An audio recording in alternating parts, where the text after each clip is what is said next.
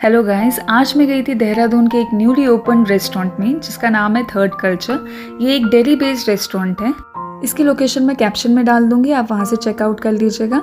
Guys इसका ambience बहुत अच्छा है. It is a place where you can relax have a drink and enjoy the delicious food तो guys सबसे पहले हमने ट्राई किए इनके शेक सैम्पलर ये देखिए, कितनी अच्छी प्रेजेंटेशन है इनकी.